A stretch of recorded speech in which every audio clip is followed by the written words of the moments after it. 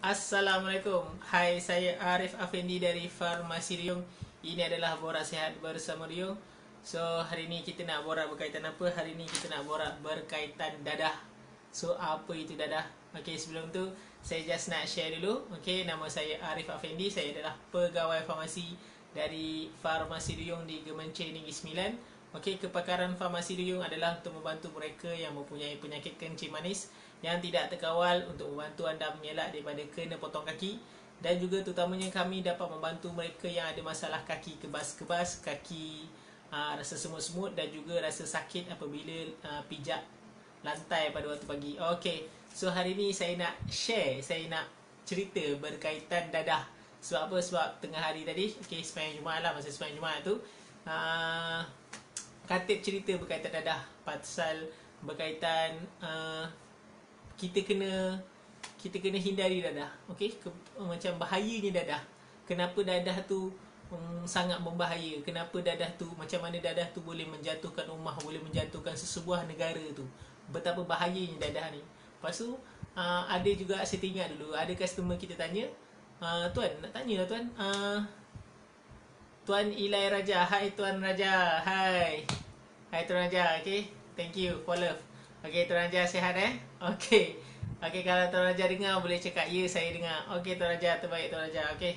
So, uh, saya nak share tadi berkaitan dadah. Sebab apa? Sebab uh, kita saya ada customer kita tanya, ada customer tanya, uh, tuan tanya uh, ubat uh, dadah, dadah saya tanya, yang you jual ni semua dadah lah kan? Dadah. Dadah kita boleh ambil ke dadah? Uh, so kita, saya macam terfikir untuk sharekan benda ni sebab apa? Sebab nak bagi penjelasan yang yang yang yang betul. Okey, yang betul. Apa tu dadah, apa tu ubat.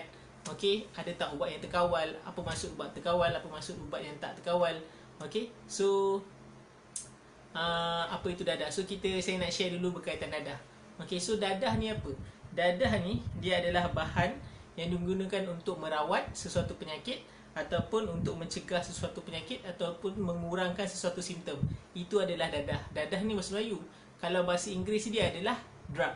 So drug, drug adalah bahasa Inggeris. Kalau bahasa drug ni selain daripada drug kalau convert tu menjadi bahasa Melayu balik kita namakan sebagai ubat.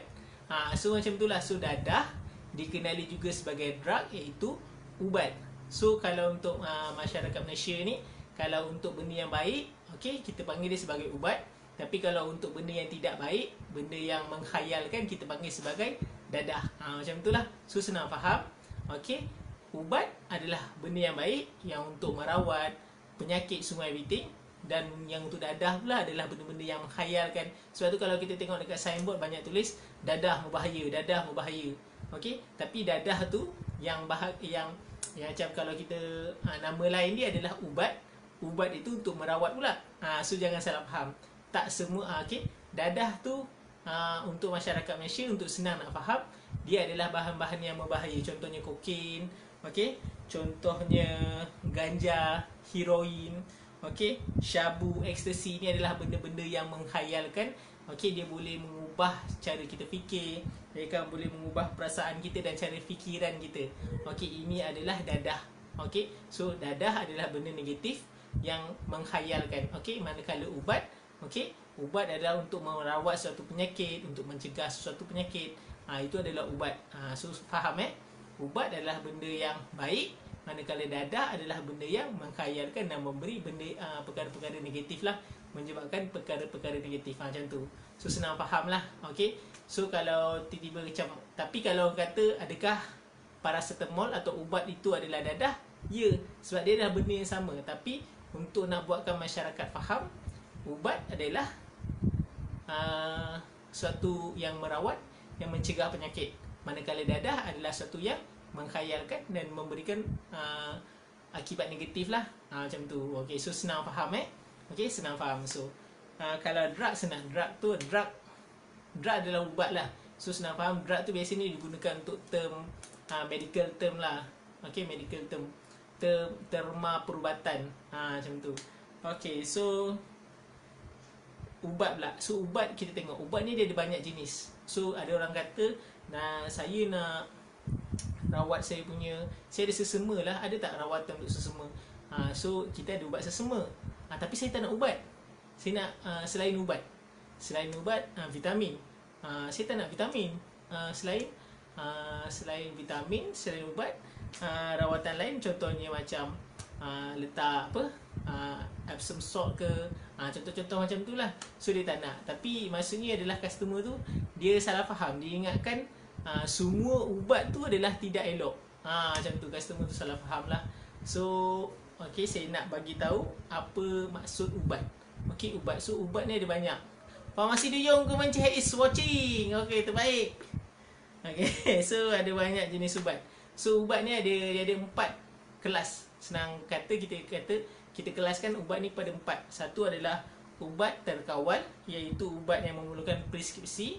Okey, yang kedua adalah ubat terkawal tapi tidak memerlukan preskripsi ataupun kita panggil dia OTC, over the counter.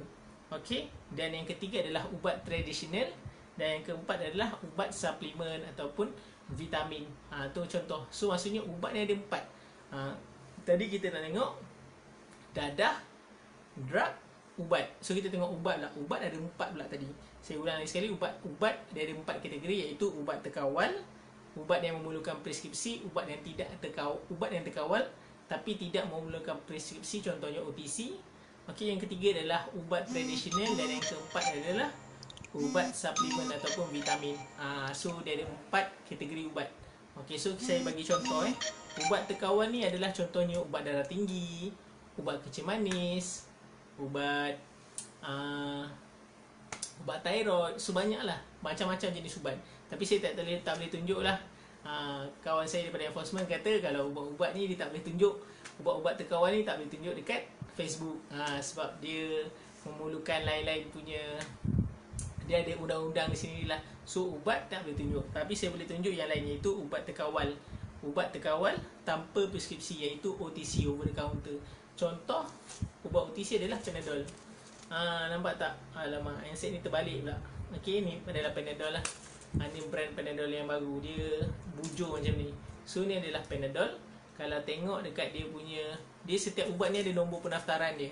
Okey. So kalau yang ubat terkawal nombor pendaftaran dia adalah uh, A A A untuk Arif kalau ubat uh, terkawal tanpa preskripsi OTC ni dia punya uh, MAL number dia oh, nombor nombor pendaftaran dia ber, dia ada huruf X. Uh, kalau OTC ni X. So kalau kita tengok kat Panadol ni nombor pendaftaran dia ada huruf X. Uh, so MAL X. So X tu adalah over the counter iaitu ubat terkawal tanpa memerlukan preskripsi. Yang macam ni lah X uh, so ni nama dia so next adalah ubat tradisional ubat tradisional ni dia ada huruf P dekat ubat, uh, dia punya nombor pendaftaran contohnya adalah sekejap saya tunjuk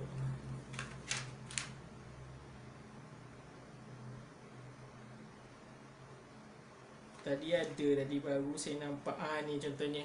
Nampak tak ah? Malamba. Nampak lah. Ha ni kalau nampak ni brand Hurix lah. Makin malamba dia sini ada huruf T. Ha so T itu adalah untuk tradisional lah. Okey. So yang terakhir adalah uh, suplemen, suplemen ubat suplemen ataupun vitamin. Okey, dia adalah huruf N. So kita nak tengok sama ubat uh, ubat tu dia berdaftar atau tak, tengok ada huruf-huruf ni tak kalau nombor pendaftaran ada dan juga ada huruf ni maksudnya dia adalah berdaftar lah so yang ni adalah ok sorry sorry. Saya ada call tadi. So ubat flavor glow ni dia ada huruf N kalau nampak lah. Sini ada huruf N. Uh, so boleh cari. Ok so kalau ada huruf N dia adalah suplemen uh, so ni contoh-contoh untuk uh, ubat lah. Uh, ubat. So lagi sekali tadi ada ubat terkawal. A ubat uh, terkawal tanpa preskripsi OTC yang ketiga adalah ubat tradisional. Dan yang keempat adalah ubat suplemen so ni adalah empat kategori ubat so itu sahaja yang saya nak share pada hari ini iaitu berkaitan ubat Okey, yang tadi-tadi kita ya, kita ingat balik berkaitan dadah tadi. So dadah adalah ubat ataupun drug. Tapi dadah pada masyarakat Malaysia kita klasifikasikan sebagai uh, benda yang menghayalkan, benda yang menyebabkan kita jadi negatif iaitu kita jadi ketagih itu adalah dadah. Manakala ubat adalah ubat yang benda yang merawat kita. Satu produk yang merawat yang mencegah penyakit. Okey, itu saja yang saya nak share. Okey, jika anda ada sebarang soalan boleh tanya kami, boleh WhatsApp kami. Okey, jika ada sebarang kemusykilan pun boleh tanya kami. Okey, itu saja yang saya nak share pada hari ini. Ingat, anda sihat, kami gembira. Assalamualaikum.